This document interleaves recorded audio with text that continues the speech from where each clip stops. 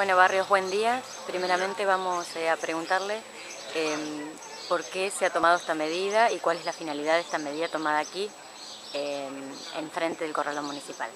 Bueno, esta medida nace en el momento que nosotros pedimos una audiencia del intendente municipal del Príncipe el 30 de diciembre del año pasado.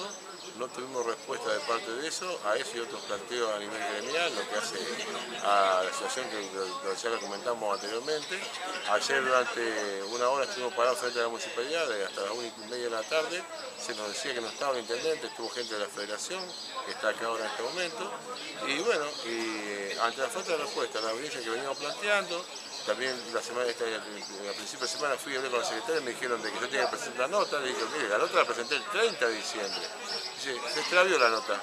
Digo, bastante, digamos, poco regular una municipalidad que se extravió una nota. Bueno, entonces ese hecho creemos que hay un desconocimiento de esta conducción y por tanto decidimos parar y ante también situaciones como lo que ocurrió ayer, la semana pasada, una suspensión de 10 días a un compañero y ayer un despido a otro trabajador. Tengo entendido que el intendente los va a recibir hoy a las 7 y cuarto. ¿Es verídico? Efectivamente, eh, eh, nos, han comunicado a través de la fuerza policial, a través del comisario, de que nos va a recibir a las 7 y cuarto de la mañana. Bueno, entonces aguardamos hasta ese momento. Por eso, sí, nosotros dependemos de esa, charla, volveremos acá, hablaremos con, los trabajadores y a partir de allí veremos la medida que vamos a tomar. Si levantamos la medida de fuerza o bien la intensificamos. Bueno, muchas gracias.